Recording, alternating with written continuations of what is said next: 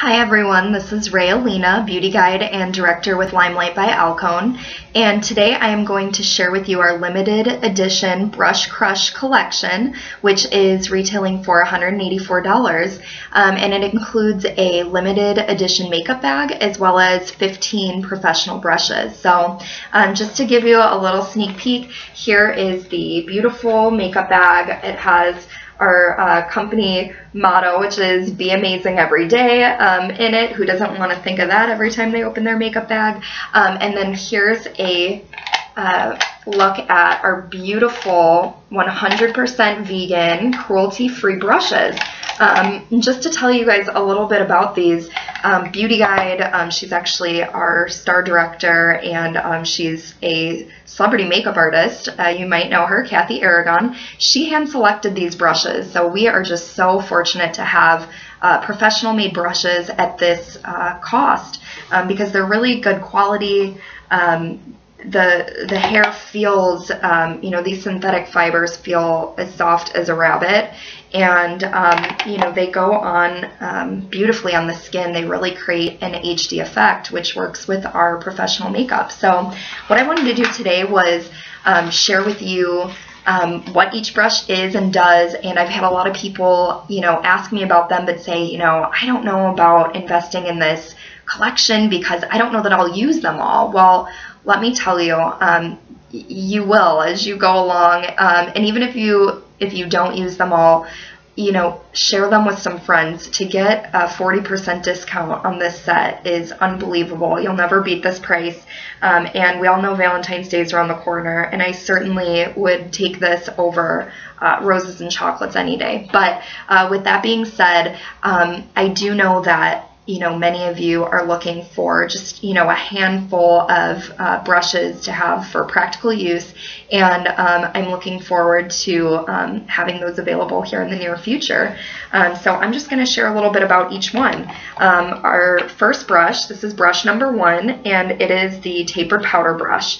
And this is beautiful for uh, press powder, uh, for loose powder. Um, typically, what I use it for is for contouring with powder, like I did today. So you can use this with the perfect bronzer. Okay, brush number two is going to be the all over powder brush, which this is classic, uh, you know, powder brush. Your your essential, really full, uh, thick and full, fat, uh, flat profile. So um, this goes on really nice and easy for uh, all over the face.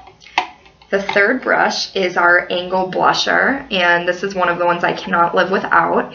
And if you want multiple uses for this, um, with that angle, it fits perfect on the apple of the cheek, but you can use this to uh, contour as well, or uh, use the flat edge to highlight on top of the cheekbone. Okay, number four is foundation. Um, this is, you know, just one of the many options we have for using foundation. I've shared I've used, you know, my fingertips. I've used um, the Blenderful sponge, which is my personal favorite. Um, but many people like the classic foundation brush, so we have one. Okay. Number five is the buffer brush. And let me tell you, this works wonders. This works wonders for blending. So if you um, you know, use the, the botanical foundation or an RCMA foundation.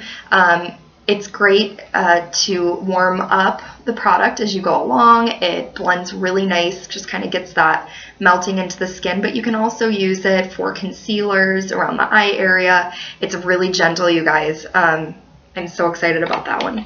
Okay, um, number six is the concealer brush. And these are you know a little bit of a glossier texture. Um, it's got that oval shape so it goes on really nice and silky uh, for the delicate eye area. Um, you can also get you know around little corners and crevices of the nose um, and you can use it for you know concealer on the eyelid as well. Okay going into eyeshadow brushes I love the selection that we have. Um, so there's four main ones. I'm going to go over the differences. So your first one is, um, you know, large shadow brush number seven. And this is perfect for all over color. Um, goes from lash line all the way up to the brow bone. Great for, you know, your all over color. Um, the next one is called the Dome Blender, and this one's a little bit smaller and denser, and it has that, you know, circular um, round shape to it. So this goes on really nice um, on the lower lid.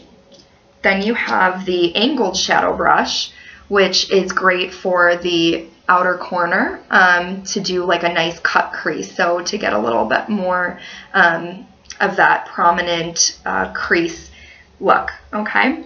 And the next one is the, um, the pointed blender. And I will tell you, I, oh, not the pointed blender, I'm sorry. Yeah, the pointed blender, sorry. I am saying the right thing.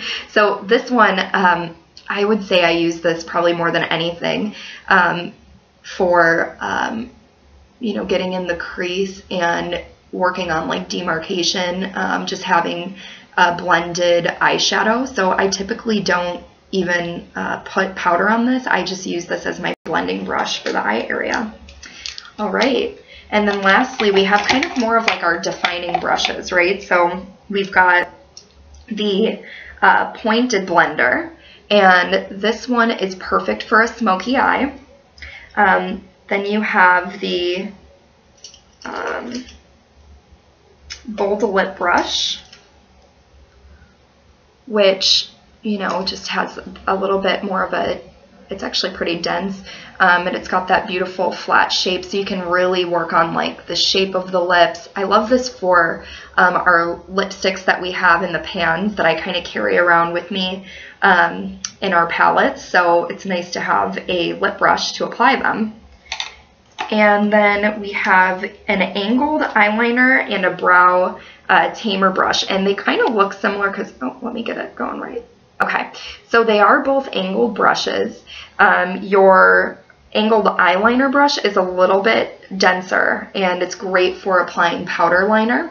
Um, whereas this one is a little bit thinner. You can use it with multiple mediums and it does have the um, the spoolie on the end for, you know, combing through the brow area as well. And then last but not least is the bent eyeliner brush. I absolutely adore these brushes. It's such a fine uh, point here. So I love to use this with our 10 years younger finishing spray in a liner to make kind of like a colored liquid liner. Um, so that's all I have for you today. I hope you learned a little bit about the brushes. Um, I hope some of you are going to take advantage of this awesome deal that we have, but um, I really, really love them. I love working with them. I've been using them all week on myself and on clients, and um, they're fantastic. So uh, look forward to doing more videos and have a happy Valentine's Day.